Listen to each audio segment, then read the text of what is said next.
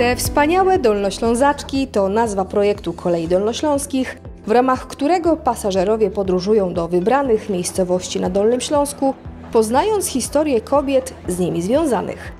Pierwszą z nich była Marianna Orańska, niderlandzka królewna, która stworzyła jeden z najpiękniejszych pałaców w Polsce. Gdzie? Oczywiście w Kamieńcu Ząbkowickim. Pociąg turystyczny do Kamieńca odjechał ze stacji Wrocław Główny 31 sierpnia o godzinie 9.35. Wydarzenie przyciągnęło tłumy zainteresowanych z różnych stron Polski. Przyjechaliśmy aż z Poznania, czyli z Wielkopolski. Bardzo się cieszymy, że bierzemy w tym udział, gdyż jesteśmy wielkimi fanami Dolnego Śląska i wszystkich zabytków, które tutaj Państwo macie. Podoba nam się bardzo. Przyjechaliśmy z Warszawy. Aż z Warszawy, ale specjalnie na ten przejazd? Tak, specjalnie na ten przejazd. A jak się Pani dowiedziała, że jest taka właśnie, można powiedzieć, impreza? Obserwuję takie strony na Facebooku związane właśnie z, z pałacami, zamkami Dolnego Śląska i kolei Dolnośląskich w związku z tym i w ten sposób. Projekt jest fantastyczny. Biorę w tym udział pierwszy raz, ale nie mogłam się już doczekać tej wycieczki. Co szczególnie Panią tutaj przyciągnęło? E, Na pewno pani Lamparska. Na pewno wszak historię Marianny Orańskiej i jej pałacu na pokładzie pociągu turystycznego KD do Kamieńca przybliżyła podróżnym znana popularyzatorka historii, dziennikarka i pisarka Joanna Lamparska. Królewna niderlandzka, urodzona w 1810 roku w Berlinie, wyrosła na kobietę bardzo nowoczesną, znacznie wyprzedzającą swoją epokę. Nazywano ją dobrą panią, bo pomagała innym, dawała pracę i zarobek, ale była też skandalistką.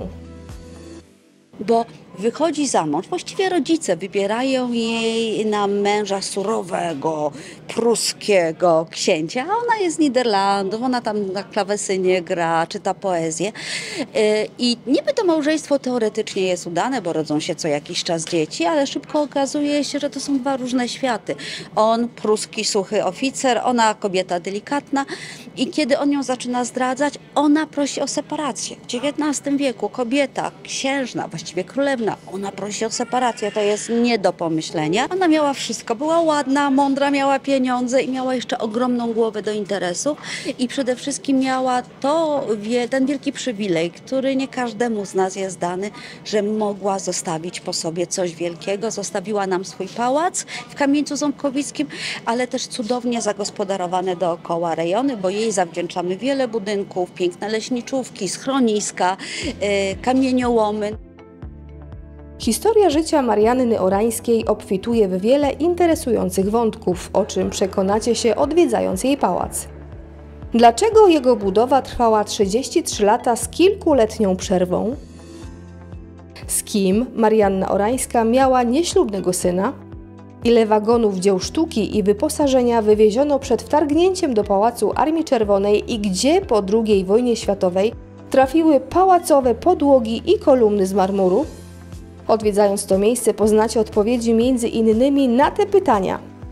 Rezydencję można zwiedzać wyłącznie pod opieką przewodników. Bilet normalny kosztuje 35 zł, a więcej szczegółów znajdziecie na podanej stronie. Wierzcie nam, warto! Zobaczycie tam wiele ciekawych pomieszczeń i przedmiotów, przykład dawną salę balową czy fortepian, który należał do Marianny. Pałac oraz jego otoczenie robią naprawdę duże wrażenie, ale kamieniec ząbkowicki ma do zaoferowania znacznie więcej. To nie tylko historyczne miejsca i zabytki, ale także zachowane pamiątki i opowieści dawnych mieszkańców. Także jeśli będziecie w Kamieńcu kolejami dolnośląskimi, to przyjedźcie do nas również, odwiedźcie naszą Kamieńską Izbę Pamiątek. Gdzie można Was znaleźć? To jest Plac Kościelny 3 i dodam tylko tyle, że mamy również coś dla miłośników kolejnictwa, dlatego że udało nam się zebrać pokaźną, jak na nasze możliwości, kolekcję związaną z nieistniejącymi dolnośląskimi trasami kolejowymi, czyli na przykład kamieniec Dzierżoniów, Srebrna Góra, kamieniec Złoty Stok. Yy, Proszę, aby wszyscy fani kolei mi wybaczyli, ale nie wiem jak nazywają się te płyty takie, które zastawiano na wagonach kolejowych z kierunkiem przejazdu, gdzie później na ostatniej stacji to odwracano. Yy, Takie, takie emblematy, tabliczki z lat 70., 80. również u nas się znajdują. No właśnie, drodzy widzowie, Jak nazywają się te płyty z nazwą relacji pociągu? Napiszcie w komentarzach. Tymczasem wracamy do pani Joanny Lamparskiej, z którą będziemy podróżować jeszcze trzykrotnie. Tak, jeszcze będziemy jechali śladem Marii e, von Malcan z Milicza. Też dziewczyny wyjątkowo, wyjątkowo interesujące. Ja tylko podpowiem jej miłosna historia też. Ukrywała w Wersalce w czasie, właściwie w łóżku takim w czasie II wojny światowej pewnego znanego żydowskiego poety, z którym się potem zakochała.